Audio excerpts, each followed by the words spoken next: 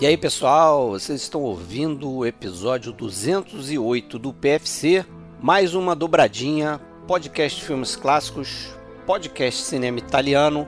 Desta vez trazemos o papo que Alexandre Cataldo e Tony Vendramini, lá do PCI, tiveram com a curadora de uma mostra de cinema italiano de São Paulo, Luísa Lopes, sobre a carreira do Hélio Petri. Este é o primeiro episódio de dois que eles fizeram sobre esse grande diretor italiano e eles passam nessa ocasião por todos os filmes do cineasta até 1969, com destaque para os filmes O Assassino, Os Dias São Numerados, O Professor de Vigevano e Condenado pela Máfia.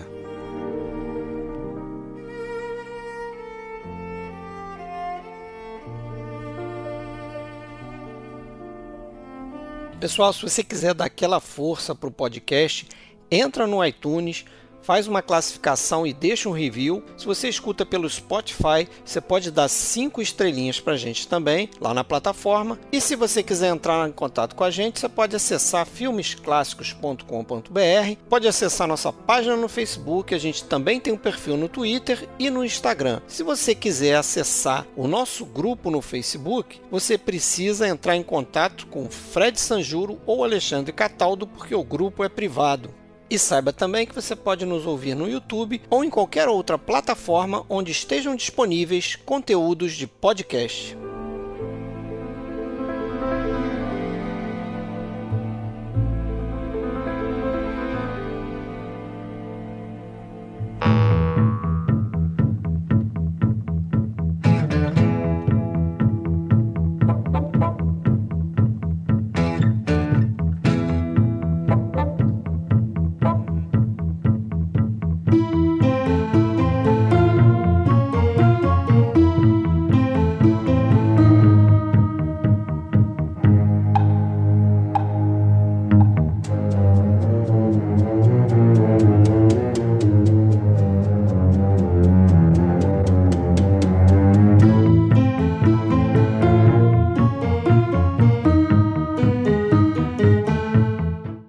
Amigas e amigos do podcast Cinema Italiano, ao som de Ennio Morricone, com uma de suas composições para o filme Investigação sobre um Cidadão Acima de Qualquer Suspeita, de 1970.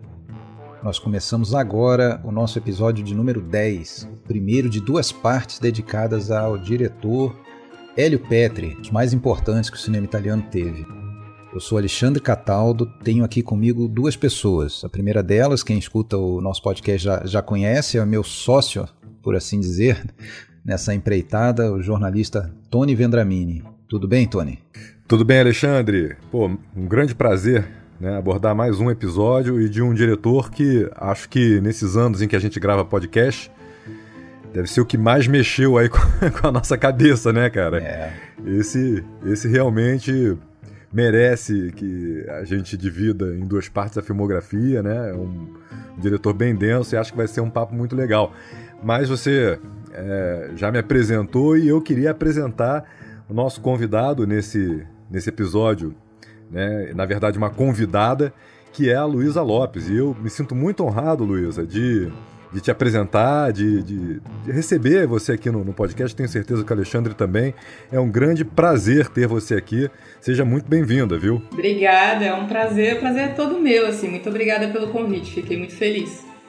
Fala um pouquinho aí da, da sua experiência com o cinema italiano, o que, que você faz. Ih, rapaz, a minha experiência com o cinema italiano começou aqui no bairro do Bexiga, aqui em São Paulo, é, que é um bairro com bastante imigrante italiano, né?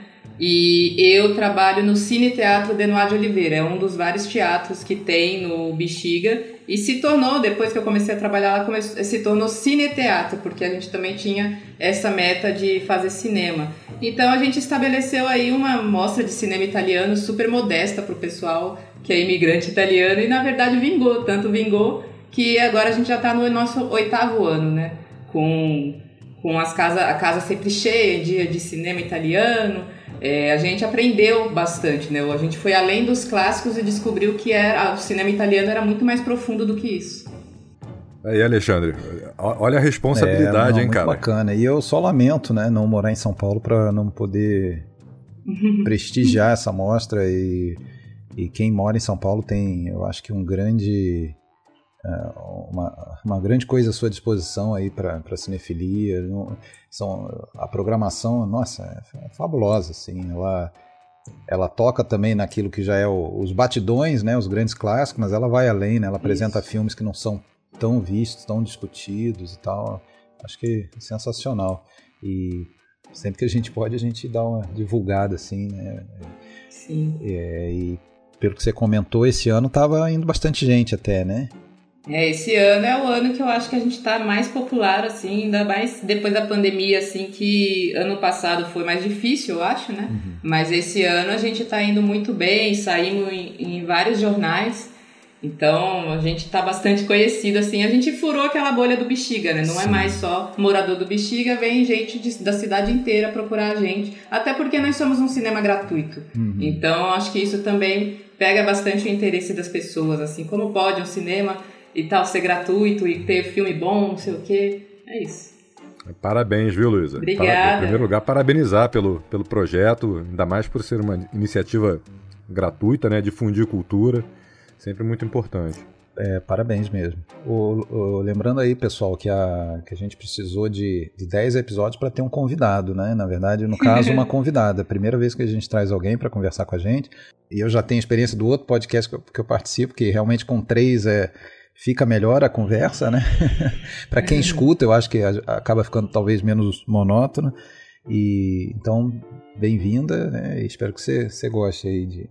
E daqui a pouco a gente, eu vou fazer uma pergunta especificamente sobre os filmes do Petri. O que, que você achou dessa imersão? Antes, só apresentar aí o, esse, esse, essa ideia para esses dois episódios, né? A gente vai dedicar então dois episódios hoje, número 10 e o próximo número 11 a filmografia, a vida do Hélio Petri. É um diretor até que não fez tantos filmes, acho que longas para cinema foram 11, mais alguns curtas e tal. Chegou a cerca de 19 coisas ali né, na carreira. E esse primeiro, essa primeira parte a gente vai levar até do início dele até 1968, né, com Um Lugar Tranquilo no Campo, é, destacando quatro filmes, né, O Assassino, seu filme de estreia, Os Dias São Numerados, O Professor Dividievano, filme que ele fez é, em 63 com Alberto Sordi e O Condenado pela Máfia. E aí depois no próximo a gente vai falar talvez aí da parte mais é, de maior sucesso internacional, pelo menos dele, né, que são uma investigação acima de qualquer é, sobre um cidadão acima de qualquer suspeita, é, a classe operária vai ao paraíso, a propriedade não é mais um furto, né? Só títulos quilométricos, né? Que a gente até vai ter que combinar, é, simplificar, né? Abreviar esses títulos, senão a gente vai levar uma hora de episódio só repetindo, né? Quando a gente for gravar o, o, o, segundo. E o juízo final, né? E depois ele ainda tem outros filmes, até o, o 1979, o último filme dele. Então a gente vai tratar de. vai passar pelo menos por todos eles, né? Mas hoje, então, primeira parte, a gente vai primeiro falar, fazer uma biografia rápida dele, depois entrar nos filmes. Mas antes eu pergunto. Até, até para até para colocar uh, essa questão dessa divisão aqui, hum. Alexandre, hum. ressaltar né, que a segunda parte, que é a parte em que entram esses sucessos maiores do, do Harry Petri, talvez seja uma parte bem mais densa, né? E, e, por isso ela ficou com menos filmes no, no, total, né? Claro, tem ali os números, os filmes que a gente decidiu destacar, mas no total ela tem menos filmes do que essa primeira parte, né? Porque é uma parte um pouco mais densa, mais, mais complicada, né? Mas antes eu queria saber de vocês qual é o, assim, a relação de vocês com o cinema do Petri, assim, com os filmes do Petri, o que que é, prévia, assim, antes dessa empreitada. Eu, eu até já tinha visto boa parte deles, faltavam alguns aí que eu aproveitei assim seja para fechar, os principais eu já tinha visto. Foi muito bom rever. E vou dizer para você que para vocês que os filmes cresceram ainda mais assim, estudando, conhecendo um pouco mais da é, dele próprio, né? E eu acho que é, é um cineasta que, levava muito de si para os filmes, né? A gente vai falar sobre isso, até um ponto até quase é, é, exagerado, né? Um, é, e eu queria saber de vocês o que, que vocês pensam, em, em, em, geral, assim, antes de falar de filmes específicos. Primeiro você, Luiz, pode começar. Olha, eu confesso que eu fiquei impressionada, na verdade. Eu conhecia né, os filmes do Petri, acho que eu conhecia Bom, a trilogia, conhecia assim uns 4, 5 filmes do Petri, mas não conhecia toda a filmografia dele que eu agora tive a chance de assistir. Mas, assim, é impressionante como ele era original. É um cara original, ele era um cara corajoso demais, né, para fazer certos filmes. E também eu acho que eu fico um pouco indignada de saber que ele acabou sendo ofuscado, né? Não ofuscado, mas acho que no sentido de até cancelado por suas próprias ideias. Ele ficou sem ter apoio, depois a gente vai ver isso mais pra frente, mas ficou sem ter apoio nem da direita nem da esquerda, né? Porque era disso que se tratava ali o cinema do Petri. O Petri, você não consegue falar do Hélio Petri sem falar da realidade italiana, né? Então, uh, eu, eu acho isso, assim, acho que é um cara original, é um cara incrível e um cara que infelizmente saiu ofuscado. Esse cancelamento que a Luísa cita me faz lembrar, é, e durante esses estudos para o podcast, enquanto eu vi os filmes, tudo isso me fez lembrar muito do Pasolini, né? É. Que também, também desagradou a esquerda, desagradou a direita, era um cara extremamente provocativo e eu vejo no Petri essa mesma pegada. Antes daqui da, da gravação do podcast, eu já tinha assistido a décima vítima. Conhecia de nome o, a classe operária vai ao paraíso, a investigação sobre um cidadão acima de qualquer suspeita, a propriedade não é mais um roubo. Conheci esses três filmes de nome, mas não tinha visto. Né? Sabia que eles existiam, sabia do que se tratava, mas não tinha visto ainda. Tinha visto a décima vítima. Não sei porque eu cheguei nesse filme. Eu estava até falando com o Alexandre. Hum que eu já tinha assistido e, enfim, aí calhou de, de assistir de novo pro, pro podcast. Que talvez é um dos filmes mais ponto fora da curva dele. Sim, né? é, que foge mais assim, ao trabalho do, do Hélio Petri, né? Mas eu vejo isso, vejo como um cara, como, como disse a Luiz, original, acho muito provocativo, né? Um cinema muito provocativo. E, e nisso ele acaba se assemelhando muito ao, ao Pasolini. A, apesar de não ter é, um direcionamento de ideias é, precisamente parecido né, com o do, do, do, Pasolini, mas ainda assim muito parecido. Concordo com tudo que vocês falaram e eu acho que a grande marca, a grande importância dele. Realmente foi um cara cancelado, tem filmes dele como o, o último que a gente vai destacar lá no segundo episódio, né, o Juízo Final, que é um filme que ficou engavetado praticamente décadas aí, foi exibido rapidamente, depois tiraram de circulação é, principalmente depois do que aconteceu dois anos depois, né, que, que o filme praticamente é, é, previu o assassinato do Aldo Moro. É, é. E o filme ficou, virou um filme maldito e ninguém mais viu. A própria atriz do filme, Mariana de Melato, ela diz numa entrevista que ela própria, sei lá, a entrevista deve ser de 2010 ali, 2000. Ela nunca tinha revisto o filme, não tinha achado o filme para rever.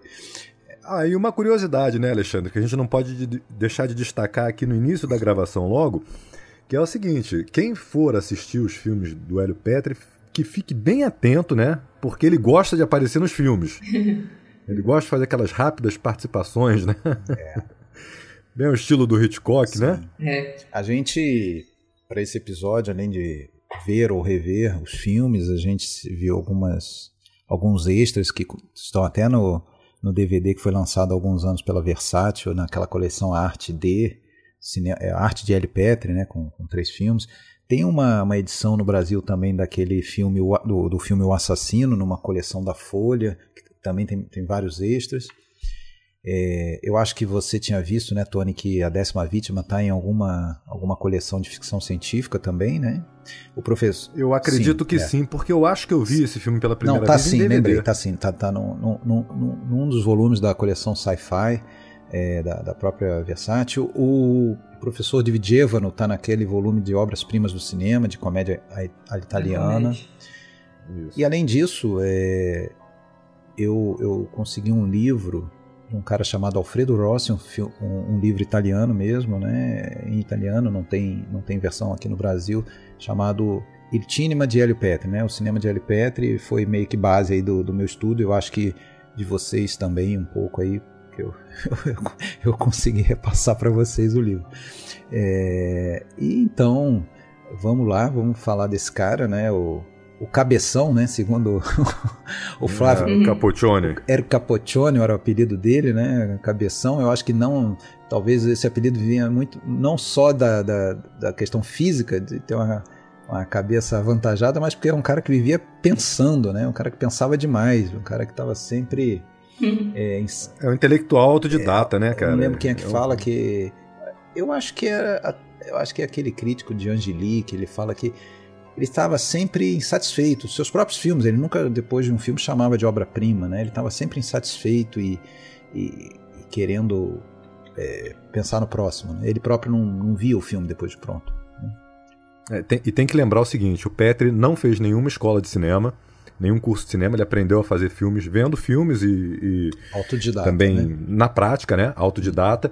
E, e mesmo esse lado intelectual dele, tem uma frase que ele diz que eu até anotei aqui, cara, que, que passa num documentário, né? Aquele Apunte Suélio Petri, né? Apunte. Isso. É, é, que são anotações sobre Hélio Petri, né? E ele fala uma frase, tem uma frase dele que diz que ele é, tive uma escola nas ruas, nas células do Partido Comunista, os filmes, shows, de... enfim, ele cita uma série de coisas aqui, bibliotecas públicas, as revoltas contra o desemprego, as leituras do partido, né? Exato. Partido Comunista, tiroteios, linchamentos, ateliês de pintores da geração dele, que ele gostava de, de pintura, cineclubes, comícios, enfim, entre aqueles que ainda eram chamados de revolucionários profissionais. Então, é um cara que realmente aprendeu na pancada, na prática, aprendeu fazendo. A gente ainda não falou essa expressão, mas eu acho que já está óbvio para quem, mesmo para quem não conhece, conhece o Petri, que o nome dele está intimamente ligado ao cinema político italiano, né? Sim. É praticamente um gênero, um dos mais importantes. A gente já fez um episódio aqui sobre o Francesco Rosi, que eu acho que seria um outro nome aí para colocar do lado dele.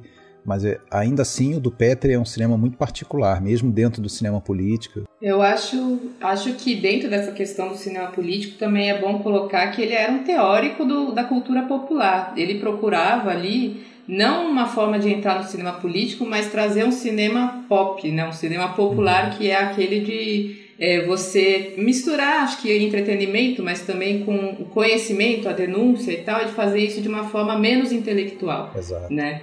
Então eu acho que ele pode ser considerado, assim como Carlo Lisani também era um teórico da, da cultura popular, assim, ele também era. Ele fala isso, né, Luiz Alexandre, naquela conversa com Alexandre Astruc, Alexandre Astruc, ele, ele fala que ele é, se sente expressionista, que ele detesta diretores de teatro que encenam Brecht dançante, com muita cor, impecável, que ele diz que o Brecht é show, que, que ele queria fazer show de variedades, porque queria ser compreendido, queria fazer coisas populares, né? Assim como ele queria fazer cinema popular e não cinema burguês. Ele queria realmente que as pessoas captassem né, de um, de um modo popular aquilo que ele queria dizer, né? É, e essa questão do Brecht é muito interessante, né? Porque foi simplesmente um, um dramaturgo, um teatrólogo, digamos, que, que fez isso, né? As peças dele eu conheço duas, infelizmente não conheço mais, mas, mas era bem isso, assim, era uma coisa muito fácil de você entender, uh, de, de você assimilar, né? E aí eu, eu não sei direito se ele conseguiu colocar isso nos filmes, o Petri, no caso, né? É. é. É, a gente acredita aí, no que a gente leu, né? Eu também não tenho conhecimento de obra do, da obra mas pretendo, do poder é, pretendo um dia estudar para descobrir. É que, eu, é que eu acho que tem, tem umas fases, né, que a gente vai deixar bem nítidas aí enquanto a gente for discutindo, que é, é uma fase um pouco mais existencialista, depois com uma fase uh, bem popular, depois uma fase com uma pegada bem política e depois uma fase em que ele entra numa exatamente uma, uma viagem que realmente é, é complicada, é mais densa. Então vamos começar essa viagem de vez e parar de enrolação.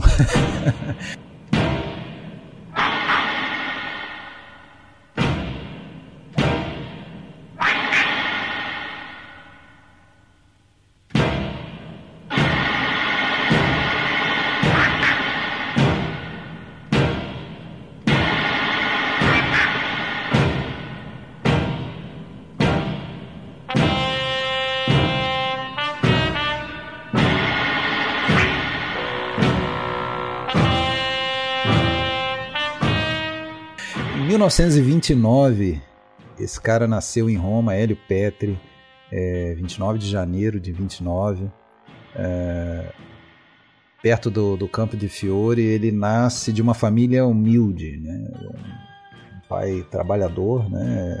era caldeiraio. A gente até teceu uma longa, um longo debate sobre o significado dessa caldeireiro é, mas em outro lugar eu li que era um artesão. Então eu concluí que era um cara que fabricava caldeiras, panelas, coisas assim. É, eu, eu vi também uma, uma algum lugar também dizendo artesão que trabalhava o cobre. Então acho que isso deixa bem claro. Né? O, o Juliano Montaldo, que parece aquele cara que tá, tá aí vivo, a gente até conversou com ele dois anos atrás, tá aí com seus 90 e pouco, ele é quase uma enciclopédia viva ainda. Então, qualquer diretor que você vai estudar, aparece sempre alguma hora o Montaldo, com alguma. Parece que ele conhecia todo mundo, assim, né? Mas, então tá, o Montaldo ele diz que para conhecer o Hélio Petri, para entender o Hélio Petri, precisa entender a sua origem dele, conhecer a família dele, né? E ele nasce numa família pobre, ele chega a dizer se não, o, Hélio Petri, né, nesse documentário ali que você citou, né, Tony, ele fala pobre, se não paupérrima. É, é, para, se não for exagero dizer paupérrima. É, a mãe trabalhava fora também numa leiteria, ele era filho único, né, e passou boa, parte da infância largado. Tem até um lance, né, que ele, que ele diz que teve uma, não sei se foi a avó, quando a avó dele faleceu, ele começou a ficar com a ideia fixa é, pensando em morte o tempo todo e aquilo ali passou a ser uma, uma ideia constante para ele, né? E deixou ele né, muito uma criança triste assim pensando nisso. E uma das fugas dele era ir ver filme. Ele é, é aquilo, aquilo que você falou, autodidata, se formou vendo filme, né? E gostava muito de cinema americano também. Mas dá para dizer que a formação intelectual dele não foi só por filme, né? É um cara que lia muito, né? E, ele não, largou os estudos formais, não se formou em, em, nada, assim como também não estudou cinema, né? Exato. E ele, é, em 45, ele se inscreve no Partido Comunista Italiano, né? Pô, 16 anos, imagina isso. É. ele, e ele acaba se interessando pelo cinema também depois de assistir Roma Cidade Aberta, né? Ele, é, isso acaba dando um estalo nele ali, ó, isso aí é o que eu quero, é o que eu quero fazer. Ou seja, dá para dizer que ele é também um filhote do neorrealismo, né? Com certeza. É, e a gente vai ver isso até, vai ver isso até bem nítido em alguns filmes. Em 49 ele vira o vice, né? Vice não é vice-campeão, vice é o, é o, o, auxiliar, né? O cara que, que escreve a crítica quando o crítico não pode comparecer, não é isso, é, Alexandre? Você sabe até por que eu ri, né? Que eu lembrei daquela história do Monicelli, né? Uhum, a gente é. aprendeu essa história do vice-crítico, né? Nos jornais italianos tinha a figura é, quase é, é, de, de, proeminência do crítico de cinema. E tinha os vice-críticos, né? Os críticos menores, que os filmes mais popularescos eram os vice que faziam a resenha. E o, o crítico bom mesmo, né? O, o titular da coisa ia ver os, os filmes autorais, filé mignon. mignon, né?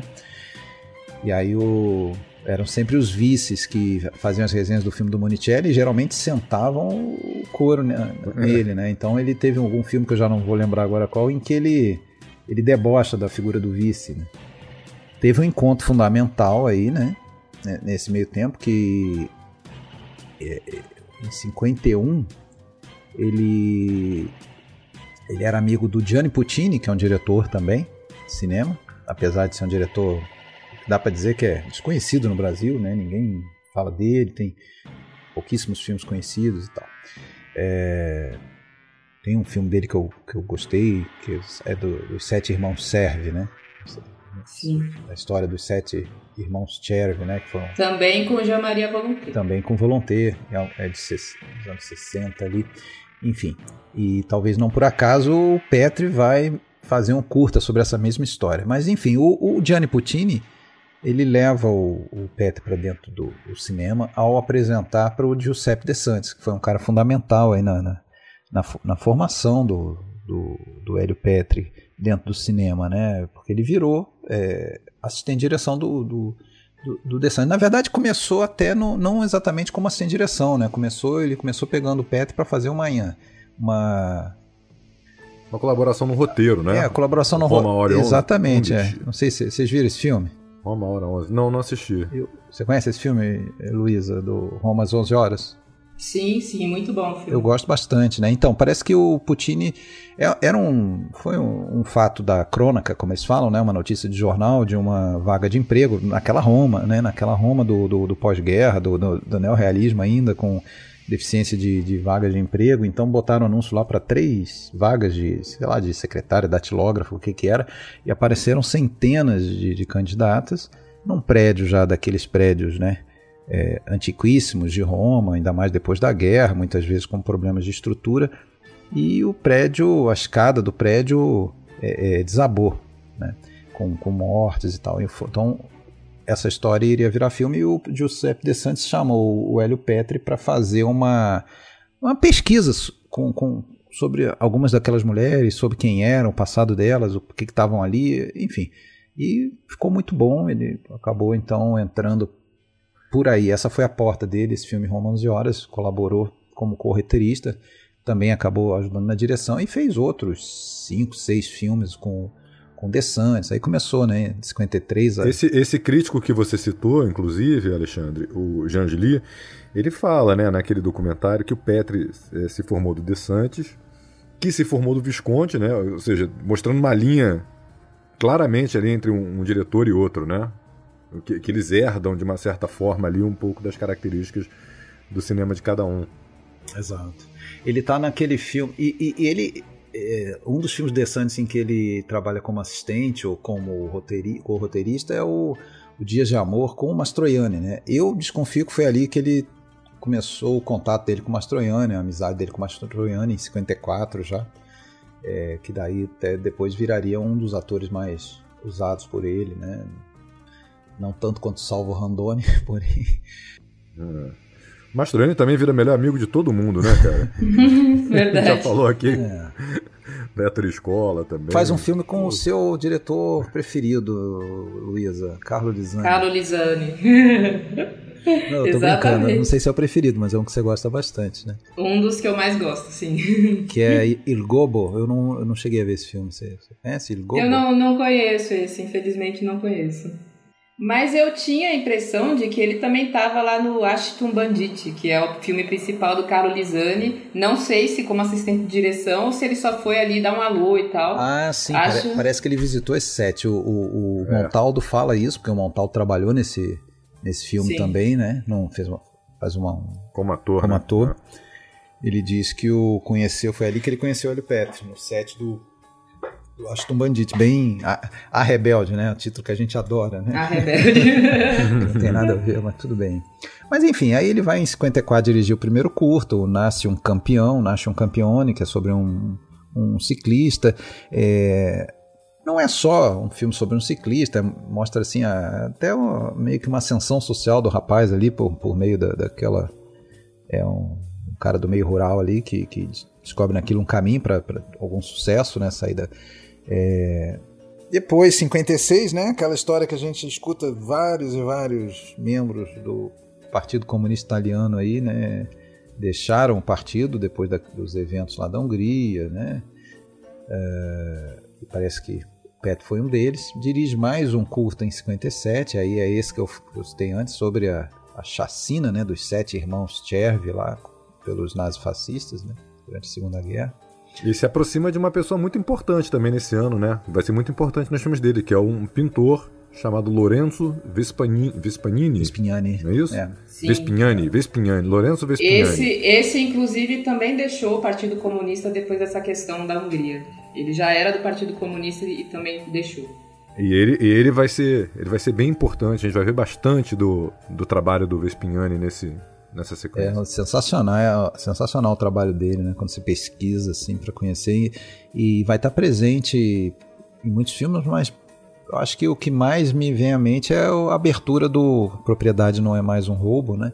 Que é toda uhum. é toda com, com pinturas dele, né?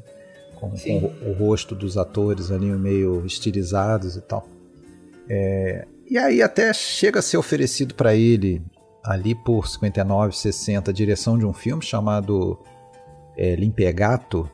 Tem um, tem um título é. nada a ver no Brasil, não lembro agora. Esta noite eu caso com a lua. É. Esta noite eu caso com a lua. Limpegato, que é com Nino Manfredi, né?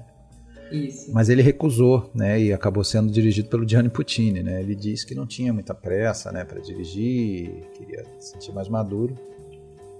Mas aí vem os anos 60, né? Anos 60 que trouxeram é, uma onda de, de, de, diretores aí iniciantes, né, que eu acho que foi uma mudança um pouco assim, começando a descolar do, do neorrealismo né, e trazendo outro tipo de cinema. A gente vai ter Pasolini, a gente vai ter Bertolucci, o próprio Francesco Rosi é, e outros, né? E o Hélio Petri é um deles, o Belóquio, e aí ele vai é, assinar um contrato com a Titanos, né? Que é uma produtora para dois filmes.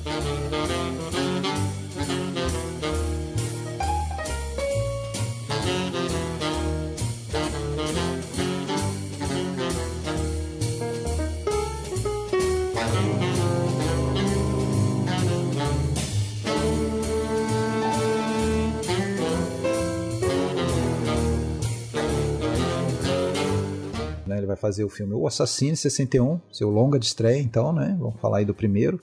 E depois o filme seguinte também, é, ele fez com a Titanos, né? Ou seja, dá para dizer até que ele começou meio por cima, né? Até porque ele consegue, porra, um ator já de, Sim. de fama internacional naquela época, né?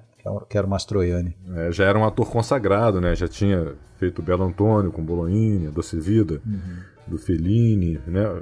Aliás, os papéis já haviam firmado ali o, o Mastroianni, né? Como um, um, um rosto que, que tinha ali um, um misto de vácuo moral, né? Da, uma beleza, certa beleza cansada, uma indolência meio narcisística, né? Uhum.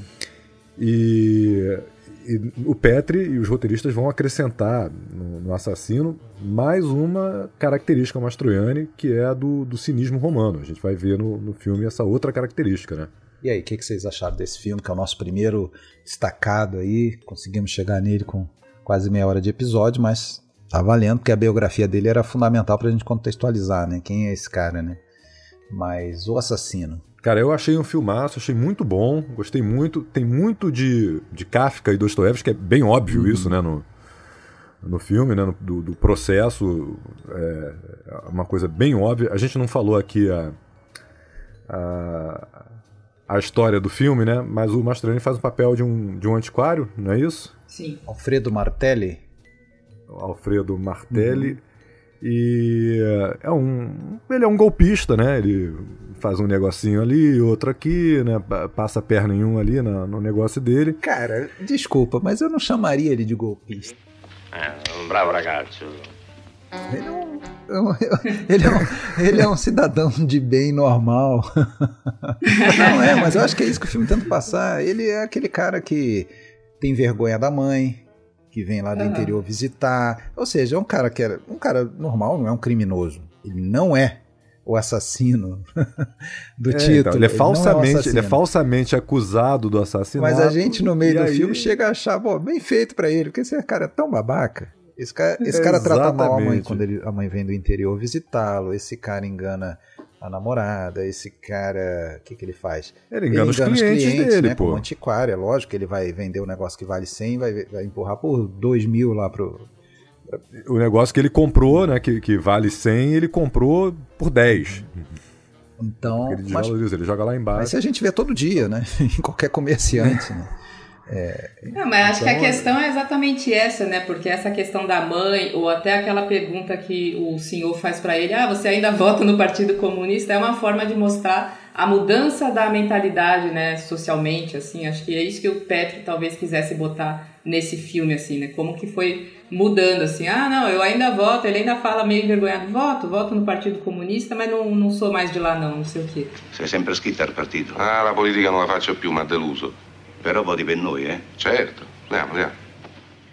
É, ele, ele dá meio que uma resposta genérica, né? Assim, meio é. distante, né? Do...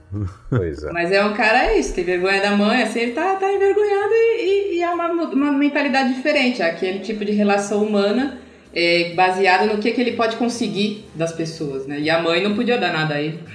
E o, e o, o personagem do Mastroianni, né? É importante citar isso, esse personagem, do, ou melhor, do Mastroni não. Esse filme ele já tem o, o Salvo Randoni no elenco. Faz esse... o personagem do, do investigador, né? Isso, ele faz o personagem do investigador. E esse é um personagem que já é meio que um precursor do que a gente vai ver lá na frente no investigação sobre o cidadão acima de qualquer suspeita, né? É. Eu acho que tem dois personagens aí que se parecem, porque o Marcelo Mastroianni, o Marcello Mastroianni também, se você notar assim aquela, aquela aparência limpa, quase controlada, que depois se torna meio histérica, também parece um pouco com o Volonté no Investigação, né? É, é um pouco a mistura dos dois, né? É. É, porque é um cara contraditório, né? Só para se ter uma ideia disso que você falou, né, dos métodos da polícia é, e até da imagem mesmo da polícia, esse filme teve problemas com censura, né? É justamente por causa da, do, dos métodos da polícia. Tem uma cena que o policial entra com o sapato sujo de lama, ele suja as escadas ali do, do prédio onde o, o, Alfredo mora, né? E a censura encrencou com isso, falou que isso, essa cena não podia ir ao ar porque a polícia nunca deixa nada sujo de lama. Imagina, a polícia vai entrar num prédio vai deixar pegada de lama tudo sujo ali? Jamais, né? Uhum. E o, o, diretor, o Gofredo Lombardo, falou pro, pro Petri, olha, não, tudo bem, falou pro, pra, pro censor, né, não, nós vamos cortar, tudo bem. Isso deixou o Petri irritadíssimo, né? E aí o Lombardo falou pra ele, ó, calma, fica tranquilo que a gente vai lançar assim mesmo, porque, pô, o censor não vai ao cinema para ver filme mesmo. Já viu o censor ir ao cinema para ver é. filme? Então lançou assim mesmo. É, a gente tem essa coisa kafkaniana mesmo, né, do, do, do, de, de, do processo claustrofóbico que esse cara se submete sem saber exatamente o que é está acontecendo, a polícia chega na, é, o começo é até bem parecido com o processo, né? Chega o cara na, na casa é. do cara e prende ele, ele é obrigado a acompanhar sem saber o que está acontecendo. Uh, e aí, aí entra aquilo que a gente falou, né? Ele não sabe exatamente qual é a acusação, mas ele tem tanto, tanto tantas culpas no cartório, ele sabe que tem tantas culpas no cartório que ele já começa até a rasgar cartão lá, achando, pensando o que, que será que estou sendo preso pelo quê, né? E, mas, pô, esse filme cresceu muito, cara. Eu conheci, para mim, assim, eu já tinha visto, mas não, não, era um filme assim que eu tinha ele. Nossa, como, revendo agora, cresceu muito, até por essas coisas que ele coloca no meio dessa história, referentes a esses fatos que a gente gosta tanto quando povoa uns filmes italianos dessa época, que é o boom econômico, né? Então a gente tem exatamente esse cara que está ali no meio disso, né? Ele, ele quer levar uma vida que ele não tem. Ele não manja nada, por exemplo, de, de arte antiga para ser um antiquário, mas ele tem que se fazer, se vender como, né? Quer ter uma aparência de estar tá bem de vida e não tá. Ele, ele, ele, ele quer passar por um cara de, de alta classe e por isso até tem que esconder a mãe, né? Que, que, que remete à origem mais humilde dele, né? Então tem, tem um pouco isso, romper com, com esse passado que ele tem vergonha, né? E a, o sucesso a qualquer custo, pisando e, dando o jeitinho que for necessário, né? Os fins justificam os meios. Então, e, inclusive tem, um, tem uma pincelada. Esse, esse filme até já dá para dizer que ele é bem político em algumas coisas, mas em relação ao que vem depois, ainda não. É muito mais a questão, vamos dizer, de alienação de, dele. Mas tem um, um momento ali que ele trata de política mesmo, quando ele tem um flashback, não sei se vocês lembram, que aparece como se fosse o personagem do Mastroianni criança, com o avô, né? antifascista. Uhum. Ele era um cara que, que veio de um, de um berço assim com alguma ideologia e isso se perdeu, né? É, é aquela coisa da perda da, da, da esperança em, em, em, algum escrúpulo, né? Que, que, a gente vê em tantos filmes. Exatamente. E tem os aspectos cômicos também, né? Não sei se vocês repararam, mas no começo do filme ele tá aparando o cabelo com uma vela. Uh, aí tem uma hora que ele quer simular o crime para ele para mostrar que ele não é o assassino. Ele, então a questão é a seguinte: ele vai simular. Se o cachorro latir, é ele. Ah, Se não nossa, latir. Isso é sensacional. E na parte que ele tá preso também, que ele fala pro. Ele bate lá na, na cela diz: Eu quero um pijama e tá. Muito ridículo. É. O próprio, o próprio final do filme também, né? É entram aqueles dois aqueles dois infiltrados, né? Que, pô, claramente a gente, a gente sabe que é infiltrado, né? É, exato. Esse foi um, uma das coisas que foi censurada, é, né? Exato. Porque era, disse que era para ser mais claro, mas não ficou tão claro, né? Mas é, ficou, ficou claro, né? É, pra gente fica, né? E aí é. tem aí a, a Micheline Presley, né? Uma atriz francesa que, se eu não me engano, tá viva ainda. Tem para lá de 100 anos. Já era uma atriz, já era uma atriz famosa, né? também. Ela tem exatos 100 anos, viu? E o Salvo, e o Salvo Randoni a gente não citou, mas ele até então era um ator é, bem conceituado né, de teatro e graças ao Petri vai se tornar também um ator famoso de cinema, né? Ao Petri, mas também Francesco Rosi, né? Nessa, nesses, você vê esses anos é. aí de 61, 62, ele vai fazer o Assassino, Gestos Numerados, é, é, Bandido Juliano, Mão sobre a Cidade, ele tá em todos esses, cara. Mas quem puxa, quem puxa ele pro cinema é o Petri, né? É. Quem puxa e inclusive quem acho que é o único papel dele principal é esse os dias são numerados. É. E aliás a, a, equipe já aqui a gente já começa a ver uma equipe é, composta né, por profissionais de alto nível técnico amigos de Petri e que vão continuar, vão seguir com ele, né? O Rogério Mastroianni, também o Rogério Mastroianni trabalhou com todo mundo, né?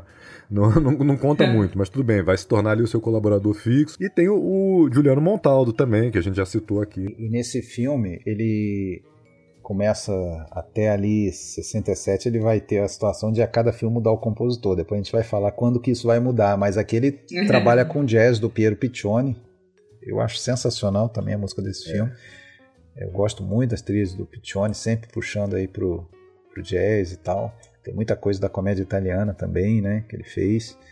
É, e é isso. É, eu acho uma ótima estreia, assim, dá para colocar até o nosso colega lá do podcast Filmes Clássicos, Rafael Amaral, que é um crítico de cinema, de Jundiaí, de vez em quando ele solta umas listas, assim, os melhores isso, melhores aquilo, e, os melhores filmes de estreia, os 50 melhores filmes de estreia, ou 100, não lembro qual, qual o tamanho da lista dele, ele colocou esse filme eu acho que com muita justiça, assim. A, a crítica mesmo, né, considerou um trabalho maduro já do, né, para quem está começando, é, o filme foi bem recebido pelo público, fez um certo sucesso, tanto é que num filme de 62 do Steno, chamado Totó Diabólicos, né, tem uma, tem uma referência ao filme, um momento em que o, o comissário de polícia diz que viu um suspeito, que o suspeito viu um filme na noite anterior chamado La Assassina, e aí ele cita o título correto, não, não é La Assassina, é o assassino, né? Então tem uma, uma citação aí, mostrando que o filme fez algum sucesso. O desfecho que no final a gente vê que esse cara não vai mudar nada, né? Depois de ter passado por isso, porque ele, ao contrário, ele até a gente até percebe que ele provavelmente que ele provavelmente vai usar esse fato ainda, né? Ele, ele para se gabar, né? Ele, ele atende a, aqui é o assassino, ele ele fala disso com pra tirar vantagem, é. com um sorriso jocoso, né? Capaz ainda dele ganhar dinheiro com isso. Que? Oh, ma tu lo sai con chi stai parlando, sì? Con l'assassino.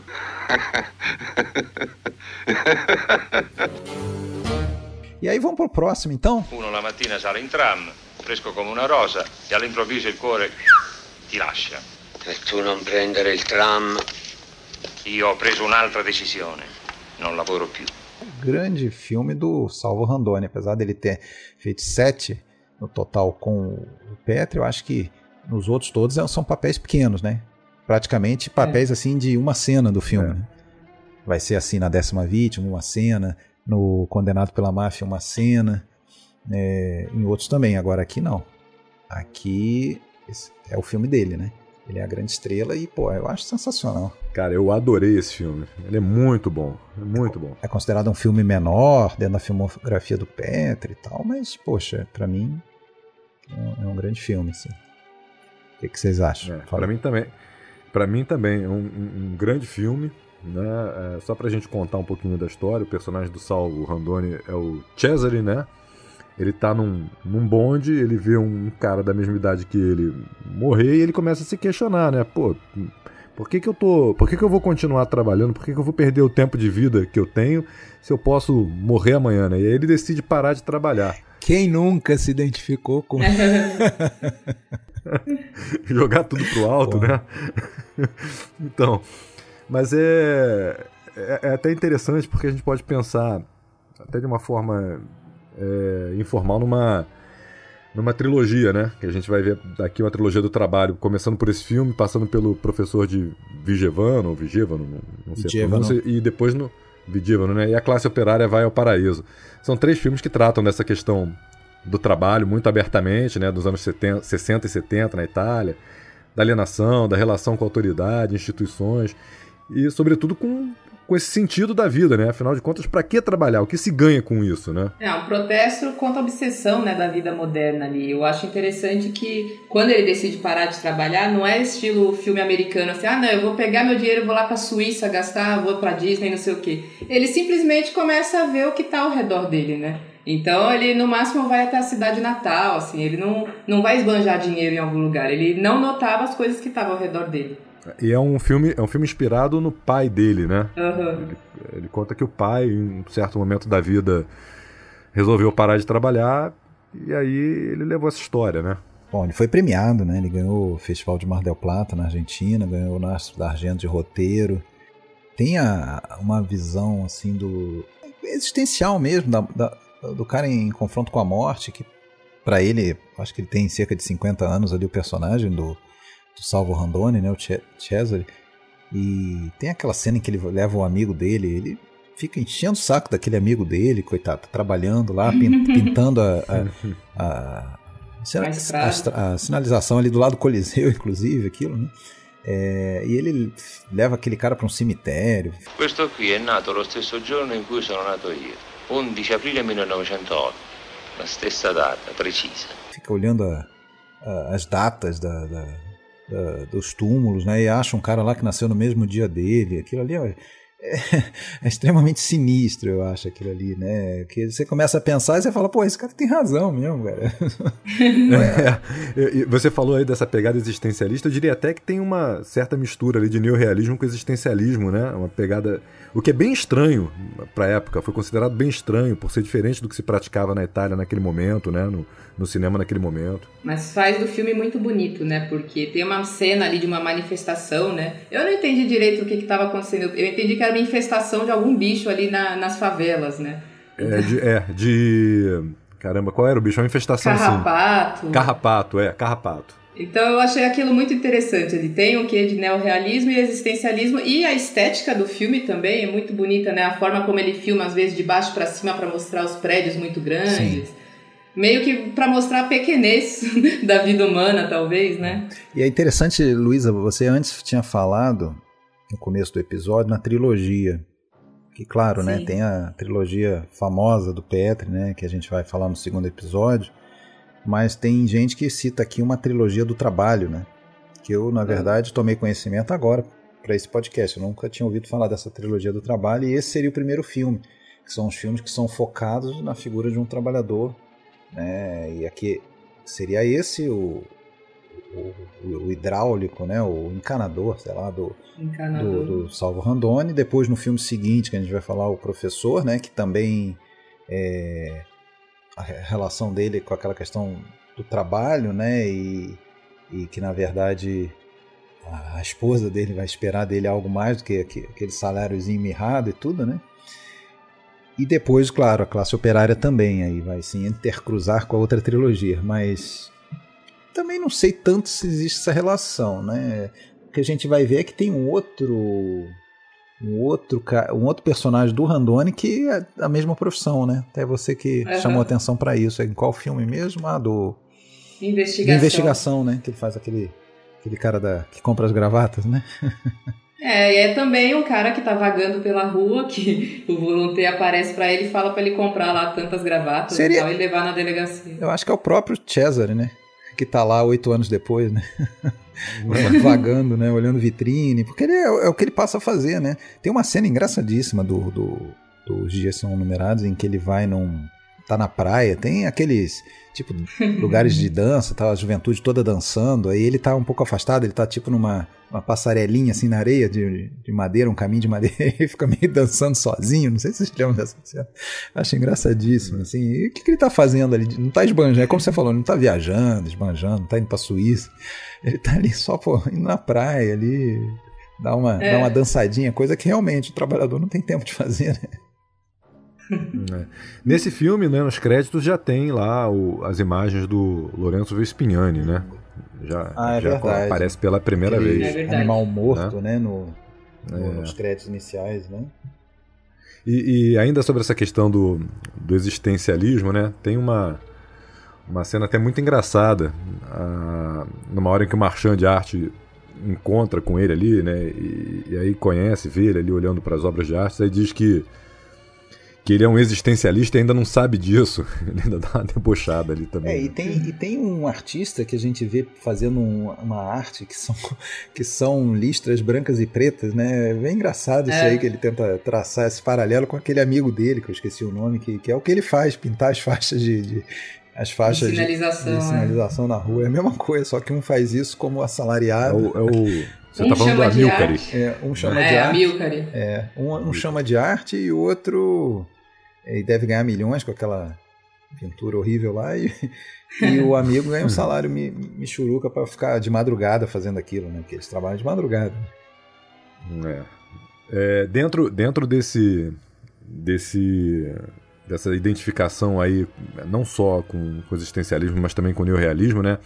É importante destacar que esse filme, ah, bem como o neorrealismo fazia, apresenta muitos contrastes de Roma, né? Você tem ali o glamour do Coliseu, tem a Borgata, é, ricos e pobres, tem um lugar ali que eles vão que é cheio de cacos, é degradado, né? bem diferente da imagem que se faz de uma capital como Roma, né? Mas esse filme também não fez tanto sucesso assim, apesar dos prêmios, né? Ganhou lá em Mar del Plata, ganhou até do Jules Gin, do, do François Truffaut, o que é até surpreendente, né? Já que era a época em que o a novela vague estava em voga, assim, né? Tipo, fazendo sucesso internacional e tudo. Mas de bilheteria não, não fez tanto sucesso assim. No final do filme, né, o, o Cesare acaba realmente morrendo num, no transporte público, né? É. E eu acho bem interessante notar o que acontece com a câmera na, na, no início do filme, quando ele desce do bonde após o passageiro morreu no coletivo, né? No, no, no bonde ali, ele desce e a câmera dá uma sensação de desorientação ali, né? A câmera na mão dá uma sensação de desorientação que é bem legal, né? E no final, quando é ele que morre, tem uma montagem frenética mostrando ali os acontecimentos na cidade, né? enquanto ele tá, tá nesse processo de morte. Cara, que eu acho bem legal. Eu pergunto a vocês, fica claro que ele morre? A gente sabe fica, que. Pra mim é, fica. Não, pra mim, pra mim fica. É, fica, mas a gente não vê, né? Isso. A gente só vê o, o trem entrando no túnel, né? A câmera para, o trem vai embora. Fica bastante intuído isso, né? Claro. Mas... Eu acho que justamente a edição faz a gente intuir isso, cara. É, que as coisas estão acontecendo de uma forma tão rápida. É, a montagem é tão frenética, sabe? Que, que leva a, a intuir isso. Mas esse é, o, esse é o tipo de filme assim que tem um, um, momento que marca, né? Essa abertura do filme é muito marcante, né? Eu, eu também revi esse filme agora e ó, mais um que cresceu muito.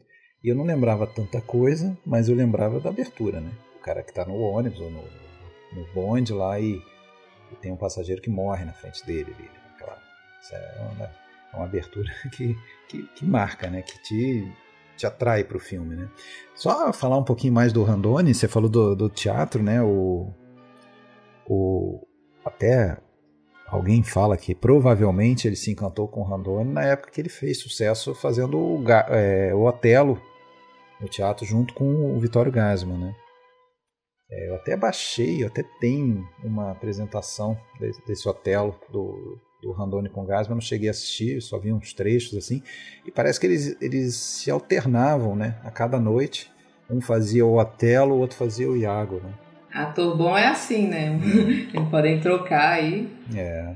E eles eram bastante famosos, assim, pelo que eu entendi. Sim, sim. chamou atenção. Ele fez uma, uma boa, boa carreira. Ele vai estar, então, até o... Acho que a propriedade não é mais um furto, é o último dele com, com o Petri.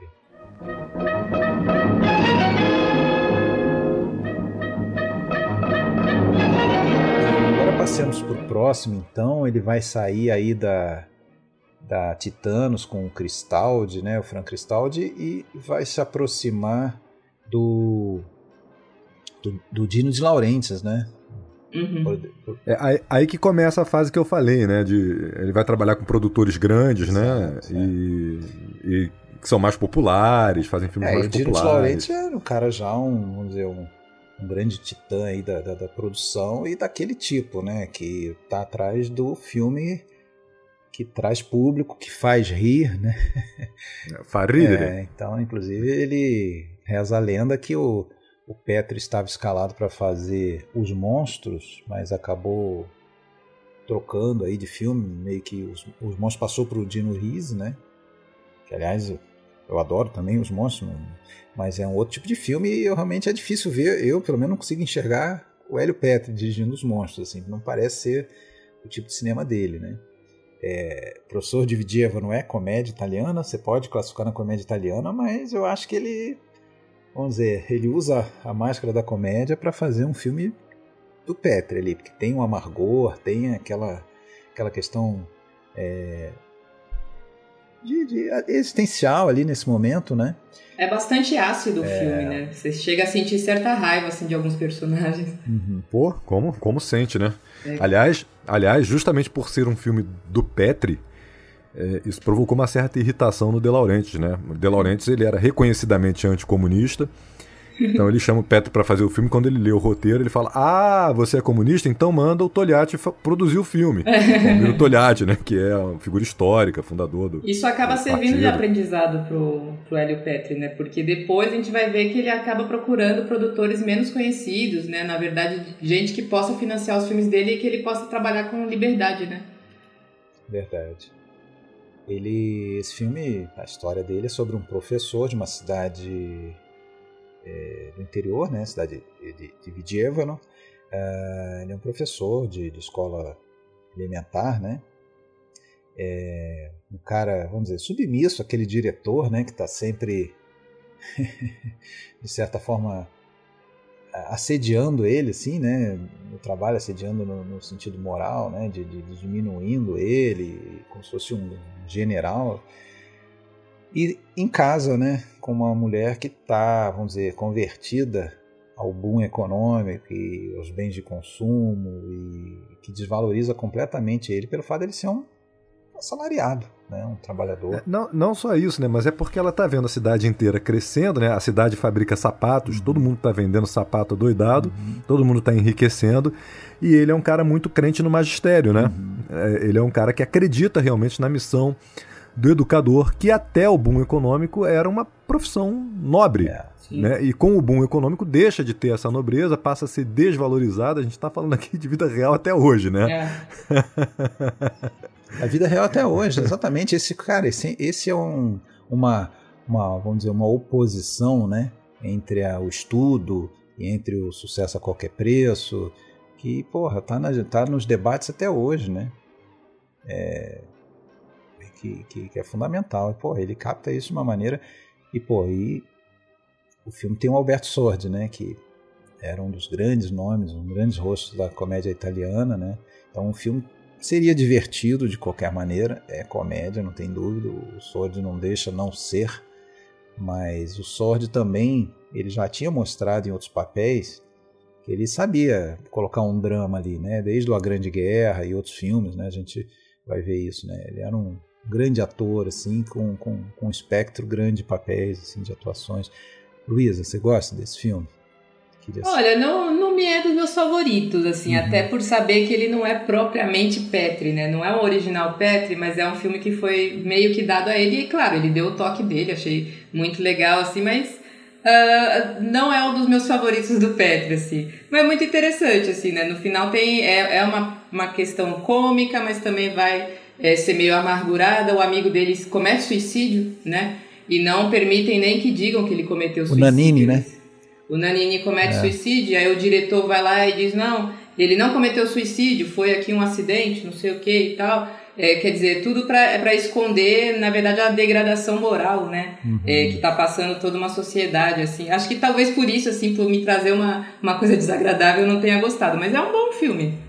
Eu, eu já gostei muito e acho bem bem interessante essa pegada, né, que mostra como é importante dentro dessa sociedade de consumo viver de aparência, né? Sim. Sim. Você nota isso ali pelos tratamentos, né, senhores, doutores, Sim. senhor diretor. Isso está muito eu... na, simbolizado principalmente na figura da esposa dele, que a gente não, não comentou, que é a, a, aquela atriz, esqueci o nome dela agora, me salva aí. Claire, Claire Bloom. É, Claire eu Bloom. gosto muito lá é. do Luz da Ribalta, né? Do, do, do Sim. Exatamente. Mas é, é, é, interessante também, você falou do Sword. É, é, o Sword teve alguns problemas com o Petri, né? No, no set. Não foi, a convivência não foi muito pacífica também, porque o Petri dizia que o Sword era um cara difícil, era um pouco coautor, né? Queria determinar ali os rumos do, do, do, do personagem, como ele ia encarnar ali o personagem. Isso trouxe um pouquinho de problema com o Petri, que também não tinha um temperamento muito fácil. Mas é um livro baseado num romance, né? De um escritor chamado Lúcio Mastronardi. É um, um, é um romance que, que, inclusive, foi muito elogiado pelo Ítalo Calvino. Uhum. Né? Definiu ele como um, como um livro fora do comum, com uma força poética muito grande, uma visão bem pessimista da, da humanidade. É, né? Esse eu acho que é um grande lamento do Petri em relação a esse filme, que o filme se distanciou muito do, do romance do Mastronardi, justamente porque acabou virando um pouco um filme do Sword, né? É. E esse Mastronardi, ele, ele era um, é um cara que tem uma história triste também, né? Ele é um, era um professor né, da, da escola da, da elementar, né? um homem solitário, inconstante. Ele tinha os problemas dele, psiquiátricos, existenciais, chegou a ser internado em um manicômio, tentou suicídio duas vezes, a segunda vez acabou sendo uma, uma tentativa bem sucedida, né? Se jogou de uma ponte depois que ele descobriu que estava com, com câncer. Então, ele tem, ele tem uma escrita bem experimental, com gírias, dialetos, neologismo, assim, uma, uma tentativa bem de mostrar mesmo como aquela sociedade é vulgar, né? É, enfim, e, e, e, se deixa de lado a função educativa e moral do intelectual. Então, é, essa é a pegada, isso aí que agradou o Calvino e também acabou é, sendo levado, melhor, tentando ser levado à tela. É, mas né? certamente é, foi um dos filmes que mostrou realmente para o Petri que ele não poderia continuar no, no grande, com um grande produtor, com um grande estúdio, porque é, senão ele ia ter que se curvar, no caso, ao Farridere, né? a necessidade de, de, de, fazer rir do, do Dino de Laurentiis, por exemplo. Né? Tem até uma cena desse filme que eu marquei aqui para comentar que eu acho muito simbólica e divertida, assim, né? Que, que a, a mulher repudia ele, né? E aí na noite em que ele fala que prometo pedir demissão, aí é a noite que eles vão para cama, né? Eles, a mulher tem prazer novamente com ele, né? Quando ele fala que prometo que eu vou pedir demissão e tal. Prometto che darò le dimissioni. Oh, oh, oh, che bello, grazie, grazie. Não, e além disso, antes de tudo, ela queria ir lá para a fábrica ser operária, mas aquilo não foi suficiente para ela porque ela percebeu que ela teria que trabalhar para burro para ela poder ascender socialmente e tal. Então ali ela já acabou com uma parte do sonho dela e, e aí ela foi pedir dinheiro para ele, né, para montar a própria fabriquinha lá. É. A gente não falou do no filme anterior, a gente já tinha comentado sobre o negócio de variar compositor. No, no Os Dias São Numerados é um compositor que não é realmente conhecido, eu, eu pelo menos não sei nada dele, o tal do Ivan Vandor. Agora, nesse aqui, ele vai trabalhar com um grande nome do, da, da composição para cinema, que é o Nino. Nino okay. Rota. Agora eu imitei o diretor lá do. É. é. essa, essa fala, aliás, do diretor também é sensacional. Nino Ro. é o Nino Rota. Eu quis ao mesmo tempo relembrar também do diretor. Né? É muito divertido as cenas com Sorg, né? Verdade. É que ele, ele faz uma frase, né, e, pede, e, e deixa, ele dá a deixa pro Sorge completar e o Sorge sempre dá uma resposta errada, né? Bravissimo. Ogni scolaresca sarà organizzata come un mini, come un mini, mini golf ministero.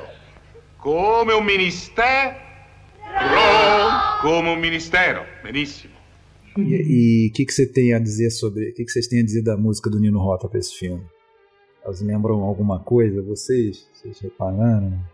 A, a gente Não. até conversou, né? Ela, ela, na verdade, já apresenta algumas harmonias, né? Em alguns momentos ali do Poderoso Chefão. É. É, o Nino Rota ele é famosinho por reutilizar coisas dele, né? A música do, Podero, a música do Poderoso Chefão mesmo, ela foi retirada da, da, da concorrência ao Oscar porque detectaram que é, ele tinha bons pedaços ali que vinham de um filme do, do, de uma trilha do próprio Nino Rota de 58 para o filme Fortunella com a Julieta Mazina.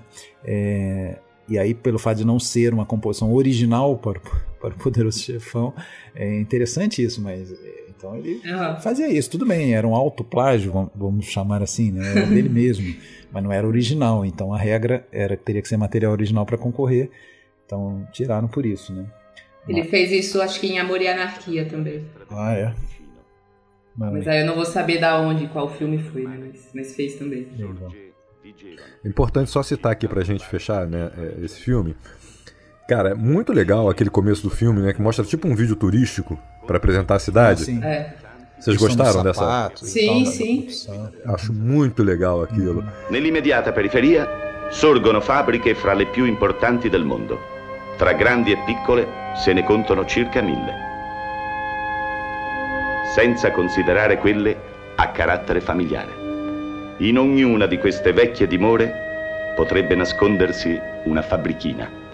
E falar também que esse personagem do Sword, que é o Antônio Mombelli, uhum. ele é um personagem típico do, pré, do Petri, né? A gente nota nos filmes, porque é um personagem que fica preso ali entre duas vidas que no fundo não são convenientes a não, ele, né? O cara é meio. É, isso, isso sempre vai aparecer no, no cinema do Petri, personagens que vão parecer esquizofrênicos, é. né? Como se refletisse a própria sociedade da Itália. Verdade. Verdade. Ele, ele em seguida, até no ano de 64, ele faz três trabalhos aí menores, curtas, né? O, o episódio, dentro de filme de episódio, né? Pelo menos para mim, consta que são todos 64, né? Ele faz um filme que não é de episódios, é um filme dividido realmente por três diretores, que é o, o Nude per Vivere. É um filme dirigido por ele, Juliano Montaldo, e um tal de Julio Quest, de quem eu não sei nada, né?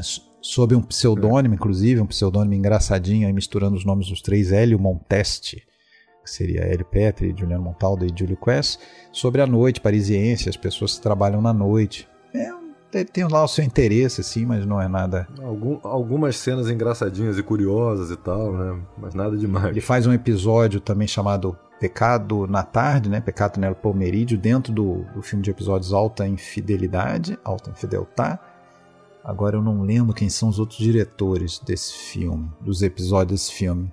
64 também. Acho que um deles é o, é o Monicelli. Se lembro bem. É, acho que sim. É. Eu também não lembro agora. E junto com o com outro. Mas esse, esse, esse episódio dele no Alta Infidelidade, esse é divertido, divertido cara. Né? É, é, muito engraçado. É. surpreendente. O final eu realmente não esperava. E, junta... e, tem, o Charles, e tem o Charles Aznavour, ah, né? Ah, sim, sim. Charles Aznavour fazendo um. Acho que é um marido que é traído, né? Não, é um, é um marido e a Claire Bloom Se faz a, bem, a Esse esposa, eu não revi, né? esse eu vi lá atrás. É, na verdade tem, tem o Charles Aznavour e a Claire Bloom. Eles se encontram como se estivessem ah, sim, traindo sim, né, sim. Seus, seus respectivos cônjuges. Só que na verdade, no final, vai revelar que são, eles são casados mesmo. Na verdade, estão fazendo ali uma. Um teatro para ver se rola alguma né, uma atração né, que já está perdida. uma química de novo, exato. É. é bem legal. É e, e, com outros 12 diretores ele vai fazer documentário coletivo, né, chamado A Itália com Togliatti, né, sobre o, o funeral, né, do, do, do, líder comunista aí que tinha recém falecido, né, naquele ano de 64. Que é, que é o responsável, só para falar um pouquinho sobre essa figura importante, né, ele é o responsável pela chamada via italiana do comunismo, né, que é a da chegada ao poder pelas vias democráticas e não pela revolução, pela luta armada, né.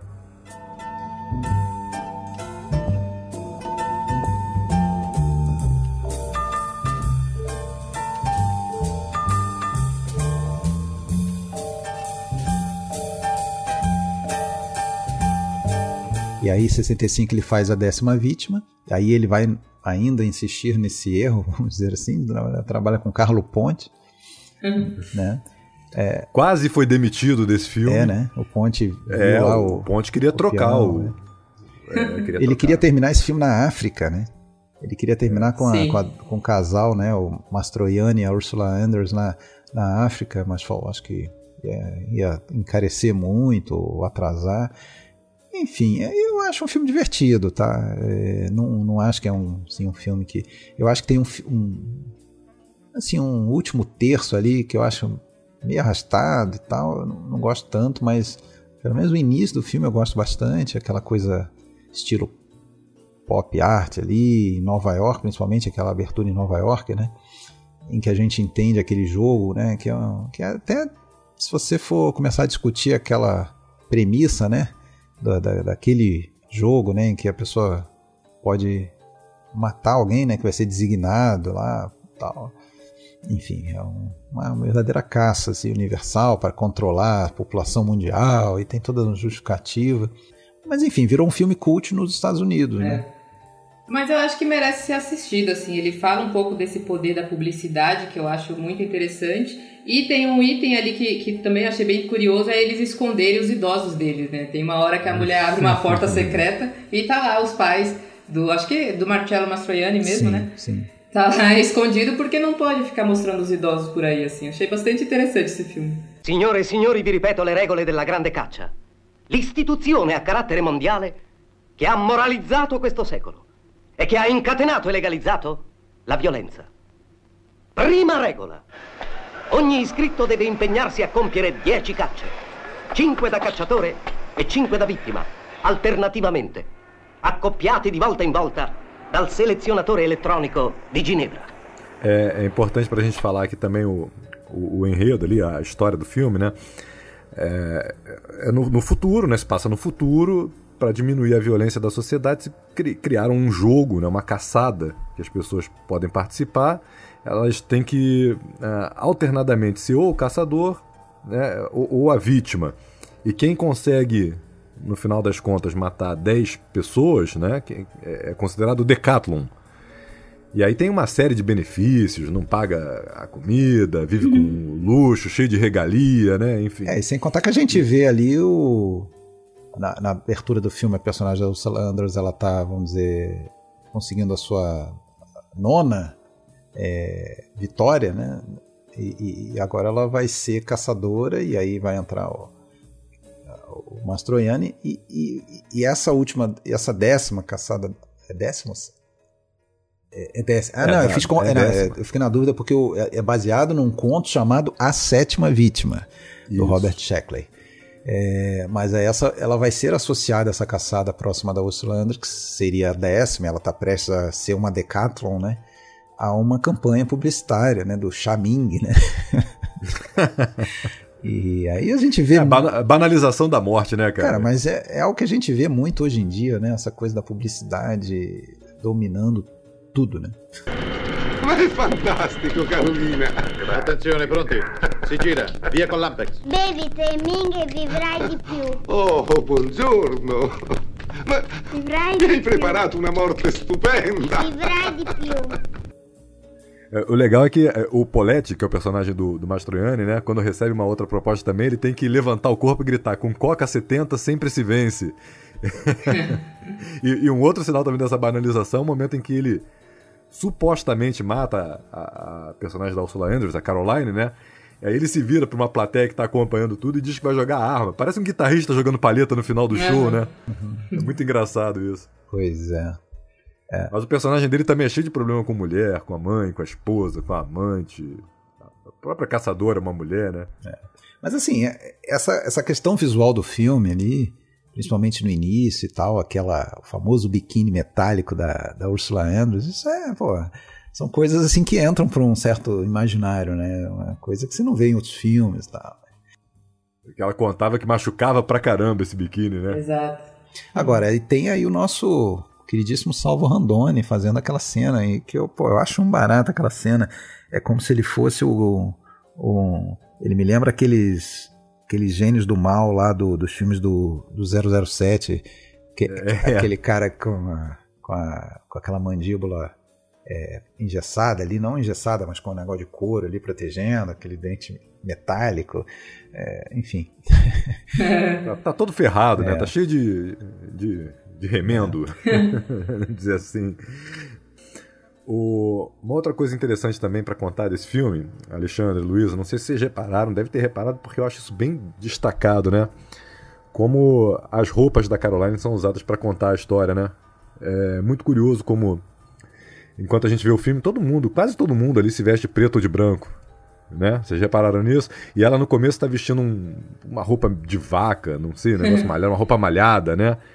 Depois ela usa uma roupa rosa, muito chamativa, depois uma roupa bege, ela tá sempre se destacando dos, dos, demais personagens. Isso é bem interessante pelo seguinte, porque o caçador, ele, ele, ele não é declarado, né? O, o cara que está sendo caçado não sabe que ele está sendo caçado, né?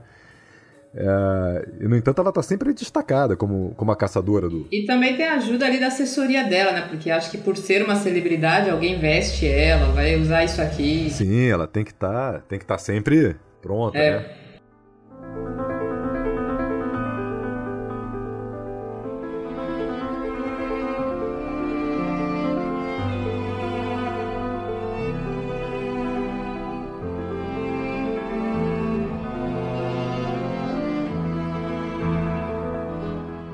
67 ele vai para fazer com daí já com um produtor independente, né, um tal de Giuseppe Zaccariello, é, o que eu acho que talvez seja um filme meio dignada dele, né, tematicamente, tal. Ele vai para um filme de máfia, né, e um filme bem claramente sobre política, que é o Condenado pela Máfia, a Chascuno Il Suo, então 1967, um filme baseado no romance do Leonardo Chacha, né, que é um autor muito importante para esses filmes é, de cinema político, filmes de máfia. A gente tem outros exemplos aí de filmes tirados de, de livros do Chacha. E aqui tem uma curiosidade. Você citou o Giuseppe Zacariello, que não era do ramo do cinema. Ele, na verdade, fabricava azulejo em Sassuolo e resolveu fazer um isso, filme. acho né? que isso vai se repetir também, acho que talvez em investigação, né? Porque ele vai pegando os financiadores assim para fazer uns filmes mais a cara dele, né? O Condenado pela Máfia, para mim é o, é o, filme assim, o primeiro filme que dá o start assim, que é mais a cara do Hélio Petri, assim. Não sei se vocês é, concordam. É, nesse sentido, é, é um filme de Ignada, bem a cara dele. Até porque aqui ele vai começar a relação artística dele com duas pessoas importantíssimas, né? Que, é, que são o Hugo Pirro, né? roteirista aí que vai trabalhar com ele até o é, Propriedade Não é Mais um Roubo, e Jean Maria Volonté, cinco trabalhos com ele, começando por esse, fazendo aí o, o professor Laurana, né? um professor intelectual de uma cidade do interior lá de, de da Sicília, é, e eu acho que é o grande tema do filme, assim, é a incapacidade de um, de um, de um cara mais intelectual, né? É, entender a realidade crua, né? A realidade do, de interesse que está por trás da, dos fatos, né? Os fatos estão na cara dele, né? Tá na cara dele algumas coisas ali, ele não percebe, ele vai caindo, ele vai se enrolando e virando também ele uma, um alvo fácil. Né? Principalmente num lugar tão peculiar como a Sicília, é. né? Uhum. É, o Chacha, a gente comentou no episódio lá do, do Rose, né? Aquele filme Cadáveres Ilustres, né? Também era do Chacha. E, e tem, assim, essa mesma atmosfera, né? Essa mesma atmosfera, aquela coisa das da, armadilhas do, do poder ali, aquela coisa que, pô, o cara não tem que ficar cavucando muito, né? E ele vai, é só o que ele faz, né? Quando ele, o filme abre ali com a com o assassinato de, de, dois amigos dele, né? Acho que um amigo e outro que estava junto, sei lá. É. E, e, aí ele não, ele vai atrás de tentar entender o que estava acontecendo ali, né? E a gente, mesmo que seja a primeira vez que a gente está vendo o filme, agora eu, eu, eu vi pela segunda, pelo episódio, a gente já desconfia ali que quem é que é o, o, o grande gênio do mal ali por trás, é o cara que é responsável por aquilo. Até fica alguma dúvida quanto à participação da mulher, né? Da, da, da, personagem da Irene Papas. A gente até em relação a ela tem uma certa dúvida e tal, mas o cara lá que fica se fazendo de amigo o filme todo, a gente já, já tem quase certeza, né? Até porque... É, é o, o, advogado Rosello, né? Que é o personagem do Gabriele é, Ferzetti. É, até, até porque, não sei vocês, mas tem alguns atores que eles parece que já são escolhidos pela aquele, aquela tradição, né? Que, que ele tem. Então o Ferzetti nunca é um cara assim super bonzinho, por exemplo. Você já sabe que ele tem uma maldade dentro ali, né? É, enfim, mas pô, é um filme que eu gosto bastante, mas eu até vou dizer que ele é um filme que fez um percurso um pouco inverso. Eu gostei mais na primeira vez, agora deu uma caída em algumas coisas. É, mas ainda assim é muito bom. Gosto muito da música do Luiz Bacalov, né? O compositor argentino que trabalhou bastante no cinema italiano, ficou muito ligado ao spaghetti, ao cinema de gênero em geral. Ele tem uma, uma trilha, para mim, fabulosa nesse filme. Algumas faixas aí eu adoro, principalmente aquela do, do samba, né, que toca muito, bem, no final do filme, né, dando aquele tom assim de jocoso, né, de é, é, literalmente aquela coisa né, que tinha até no bordão lá do Jô Soares, muito antigo, né? Aqui tudo acaba em samba, né? Tipo, vai ficar por isso mesmo. É, quem ficar contra a gente vai, vai sambar e, e pronto, e vida que segue. Vamos continuar mandando esse negócio aqui. Né? Vocês sabem, vocês sabem que uh, antes do início das filmagens, o Petri e o Chacha é, discordaram de uma forma bem forte, né? por, causa de, por causa da pegada do filme. O Petri dá uma entrevista dizendo que, que não tem a intenção de fazer um filme político e o Chacha rebate, diz que ele só escreve para fazer política. E aí o Petri responde com, com uma carta dizendo que a intenção é fazer um filme que não seja tanto didático, enfim, mas deu, deu problema. E deu problema também, claro, né? Apesar de, de, deles terem ficado é, bem amigos, mas a convivência com o Volonté também não era fácil, né? Tem um depoimento do Petri que ele diz que adora atores, mas que também os detesta. É. Né? Que, é que, é difícil trabalhar com ator que tem senso é, crítico. Principalmente gente como Volonté, que era um cara carregado, Sim. assim, de... É, que, que, se sentem desconfortáveis, que recusam as ideias do diretor, discutem, têm as próprias opiniões. E é o, é o Volonté, né, cara? Que é um cara que é um cara que de repente, do nada, em determinado momento, resolve parar de fazer o que ele chamava de cinema burguês, né? Fazer só o cinema de empenho sociale, né? Uhum. Então você vê que, que é um cara difícil de trabalhar também. Sim. Mas ainda assim é um filme que eu, que eu coloco assim, acho que ele é um certo destaque dentro do, do cinema do Petri. Acho que não está a par aí do que vai vir depois. Eu acho até que nessa divisão de episódios a gente tem que reconhecer que o segundo episódio, eu acho que estão ali as grandes pérolas né, do, do, do Petri. Não sei para vocês, mas para mim não tem dúvida, sim. Mas o, essa, esses filmes que a gente destacou hoje aqui nessa primeira parte, eu, eu diria que são, são bons também, mas um pouquinho abaixo ainda. Né?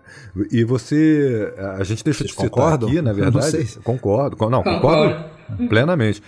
Quem começa a colaborar aqui também com o Petri é o Luigi Cuveiler. Ah, é verdade. é o Cuveiler né? que é diretor de fotografia. Também vai fazer filme com o Inatel, todo modo é. lá, o Juízo Final de 76. É, é outro colaborador fixo, vira colaborador fixo aí. Que, aliás, foi a estreia do Cuveiler, né? Foi, foi, é. foi, a estreia dele como. Ele já era lá, vamos dizer, assistente de câmera e tal, mas como diretor de fotografia, é, é o primeiro que ele, que ele assina, né? Agora, essa parceria com o Pirro, que começa aqui, vai ser, acho que, fundamental para trilogia lá, principal que a gente vai falar depois, né? É uma relação que também não vai acabar muito bem, né? Muitas discordâncias e é engraçado como é que esse, esse, pessoal, assim, não era fachada só essa questão política, né? Não era só para fazer o filme. É, e mesmo eles tendo, claro, né? Como atores bem pagos e tal, os seus, seus carrões, as suas, né? É, seus fetiches de consumo e tal, eram os caras realmente que acreditavam. O, o Volonté, então, talvez fosse o mais é, é, radical dele em termos de pensamento. Até por isso, então, rolava brigas, né? A gente vai falar em outros filmes aí, rolou briga de, de, de mão mesmo, né? O cara ameaçando de morte no pleno set e tal. Agora, com todos, com todos os estresses aí, com todas as discussões, os desentendimentos, o Petri reconhecia, né? Ele dizia que nunca teve um roteirista tão bom quanto o Hugo Pirro. Agora, vocês, não sei se vocês perceberam, mas nesse Condenado pela Máfia, ele começa, ele inicia um assunto que ele vai desenvolver em outros filmes também, que é a questão sexual, assim. Tanto de colocar a questão de impotência sexual, ou até uma certa tendência ao homossexualismo que vai aparecer em outro filme depois. É, eu, eu vejo isso bastante nos filmes do Hélio Petri também. Vocês já perceberam ah, isso? eu percebo às vezes, sim. É, em qual momento exatamente você está falando? Em qual personagem? o condenado você vê o, isso? Ah, agora é Laurana? é difícil. Acho que no próprio Laurana, no próprio né? Laurana, na verdade, né? Sim, sim. Na verdade, você vê, você vê no, no, no filme do, do Hélio Petri, em alguns filmes do Hélio Petri, o, o, a castração do macho, né? É, também. A castração, é. é. É interessante como ele coloca isso junto com toda a questão social, né? Uhum. Sim. E a gente tem nesse filme um personagem, um, um ator aí que faz um papel menor do padre, né? que é o, o Mário Scatia, que vai estar depois num papel maior lá no Propriedade Não é Mais um Roubo, faz um papel importante do, do ladrão Albertone, não sei se vocês reconheceram uhum. ele. Sim. Uhum. É, ele faz aquele padre que ele vai atrás lá do, do, do exemplar do jornal, né, para saber quem é que tinha sido o cara que tinha mandado as cartas com, com recorte de jornais, né, com ameaça de morte pro amigo e tal. E o cara meio desaconselha ele, né, a ir atrás disso e tal. Ma lei non crede in niente. E lei? Beh, io... io che c'entro? In qualcosa credo. Forse in troppe. Per i tempi che corrono.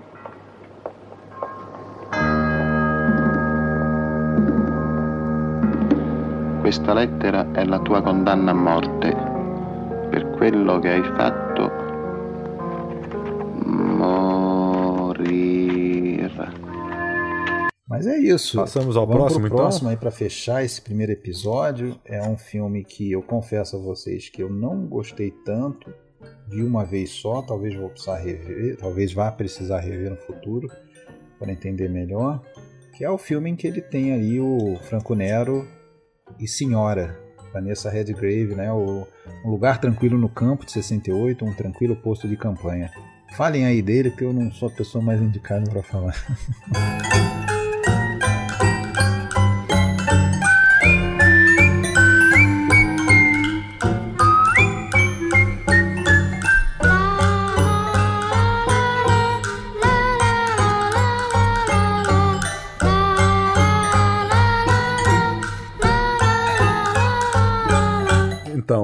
contrário de você, Alexandre, eu gostei do filme. É, aliás, é, talvez por uma questão de expectativa, eu achei o mais surpreendente desses filmes do, do Petri. Não o melhor, claro, eu reconheço, né? não é o melhor filme do Petri, não passa nem perto disso.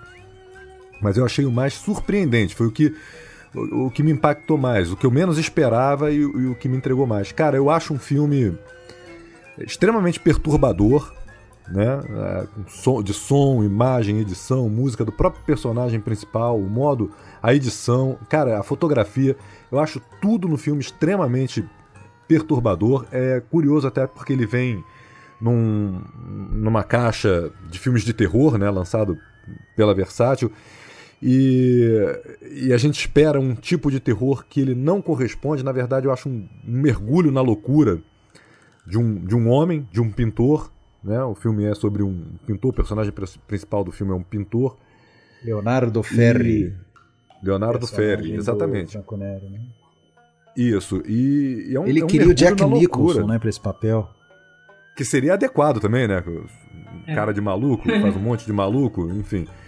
Seria bem adequado. Mas é um filme que parece um, vai parecer ali um filme que vai virar uma história de fantasma e na verdade é um mergulho na esquizofrenia, né, cara? Na, na, na mente humana mesmo.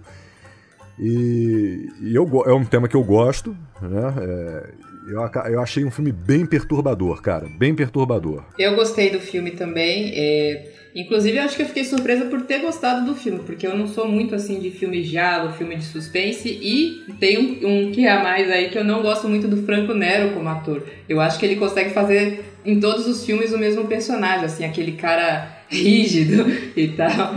É, mas é, é, é isso que o, que o Tony disse, assim, é um filme, é, eu acho que sobre o psicológico, mas também sobre a criação, né? Porque a, a criação artística dele, porque a forma como vai terminar ele preso, enclausurado, e, e ainda produzindo arte para aquela mulher dele continuar vendendo, ganhando dinheiro, eu acho que isso diz alguma coisa sobre o filme, né? Diz assim, ah, será que a arte, assim, a produção da arte aí, como é que é? É livre? É, é é controlada, não sei o quê. Então eu achei o filme bastante interessante, assim, surpreendente.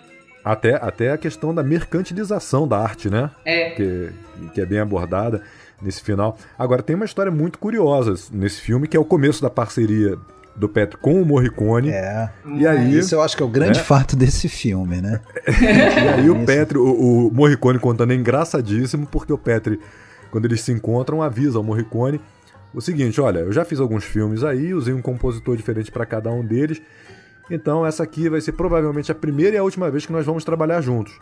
E ele sempre voltaria a procurar o Morricone, É, né? Agora É. tem uma coisa também, né? É, sobre essa trilha. Ah, lembrando que assim, é, não é bem verdade o que ele falou também, tá?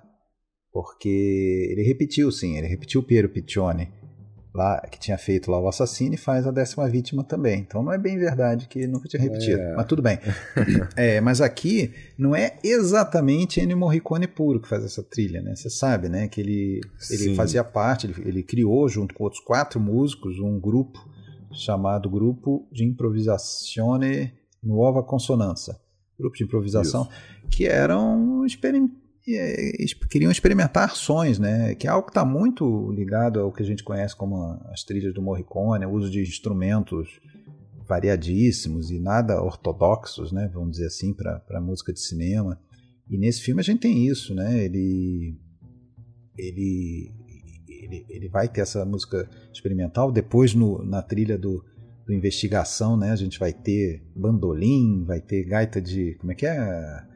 Berimbau. de boca lá, berimbau de índio, sei boca, lá. Depois vocês me explicam isso aí, porque eu também achei estranho. É. Berimbau de índio. É. Então ele, ele tem isso e isso nasce aí nesse grupo dele, né? Tem, tá, tem uma trilha de música dissonante, assim, vamos dizer. É, e o, o para esse filme também, né? A gente já falou que o Petri era um amante de pintura, ele adorava pintura. Ele, antes de fazer o filme, vai aos Estados Unidos, assiste um vídeo sobre um artista pop chamado Jim Dine, então é desconhecido, né? E a United Artists manda trazer o Dine para a Itália para ensinar o Franco Nero a pintar. Né? O Franco Nero vai reproduzir ali no, no filme a, técnica que esse artista usava, né? para ficar parecido com o que o, o Petri espera ali da, usar na imagem, né? Mas é um filme que eu achei bem interessante, cara, porque ele, ele realmente passa uma sensação estranha, né? Ele causa um estranhamento no, quando a gente está assistindo. Parece que vai caminhar para um lado e, e caminha para um, esse mergulho na maluquice, na loucura, né? Na mente humana. Eu acho, eu gosto do filme. É. A, a Vanessa Redgrave é que fala que não chegou a entender muito bem o que, que o que... Ah, e o, e o, e, o, tal do Leonardo, né, o pintor, que é o do personagem Franco Nero, ele é o homem castrado, como disse aí a, a Luísa, a gente vê mais uma vez aqui esse personagem castrado, né? E a castradora é a, amante dele, esposa, a Flávia, né? Que é a Vanessa Redgrave. Até, até a gente fica feliz quando a casa tenta matar ela, né? Porque a mulher é chata pra caramba e a casa toda hora tentando matar ela. É. Mas é isso, pessoal. A gente encerra então hoje essa primeira parte. É, quem nos escutou aí, aguarde a segunda parte que vai, vai pegar fogo aí com, com volonté, com cinema é, é, cada vez mais, como é que eu vou dizer, neurótico do Petri. Né? Essa, essa parte aí é bem importante. Querem fazer um, um top de hoje aí, ó, dessa primeira parte, ou vamos esperar fazer no final? Acho que no final, né? Ah, pode... No final, cara. É, pode ser no final. Tá certo, então. Então, até a próxima. Obrigado, Luísa. Obrigado, Tony. Obrigado. Vamos lá. Abraço. Abraço. Tchau. tchau.